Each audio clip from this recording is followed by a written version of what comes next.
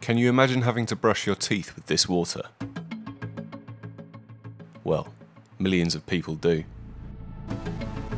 In the 70s, this river was a tropical paradise. Now, it's a toxic soup of household rubbish, human feces, and dead animals.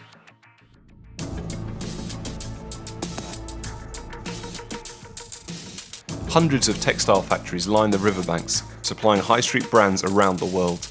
And although they provide vital employment for locals, lax regulations allow them to spew untreated industrial chemicals into the river unchecked.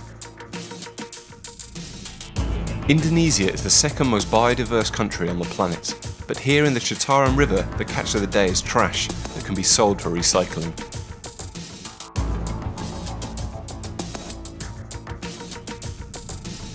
Sixty percent of the fish have died out, and it's not just the fish getting sick. People are already suffering with skin diseases and diarrhea, but the potentially horrifying consequences of heavy metal poisoning will take years to make themselves known.